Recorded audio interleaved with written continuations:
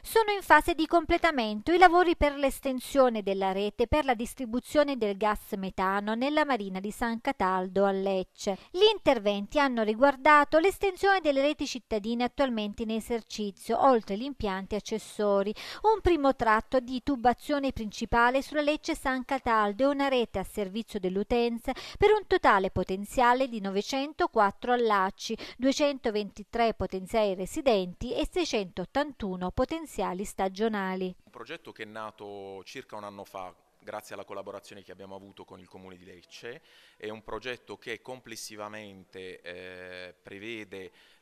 oltre 30 km di realizzazione rete, un primo step è di 20 km e consente di collegare le marine di Lecce al comune di Lecce, il secondo step è vincolato al buon risultato della prima fase. Grazie ad una convenzione tra il comune di Lecce e la 2A Rete Gas, la realizzazione dell'allacciamento alla rete del gas metano per gli utenti che ne faranno richiesta avrà un costo pari a 200 euro più IVA, costo che comprende anche le opere di scarifica e ripristino con tappetino bollettino di usura anziché 1500 euro. Questa promozione interesserà la Marina di San Cataldo e tutte quelle aree della città, borghi inclusi, raggiunti dalla rete del gas metano ed ancora prive di allacci. Le marine hanno bisogno di una grande opera di riqualificazione che deve partire dalla base, da una grande infrastruttura e su questo stiamo lavorando, infrastrutture primarie